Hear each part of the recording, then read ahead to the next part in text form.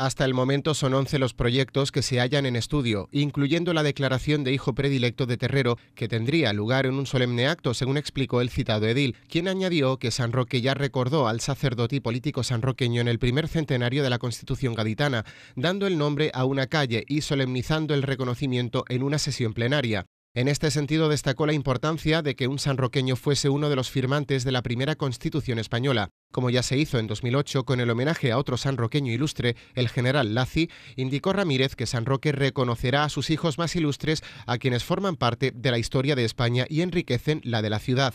El Ayuntamiento de San Roque puso en marcha un grupo o comisión de trabajo en el seno de la Fundación Municipal de Cultura Luis Ortega Bru al objeto de confeccionar los actos conmemorativos y llevar a cabo una labor de investigación en torno a Terrero. Estas labores han arrojado importantes datos sobre la vida y la actividad pública del mencionado personaje. Vicente Terrero nació en San Roque el 18 de marzo de 1766, siendo bautizado el mismo día. Fue un estudiante brillante, doctorándose en ciencias sagradas. Tras su estancia en el seminario, su primer destino fue su ciudad natal, en la parroquia de Santa María la Coronada.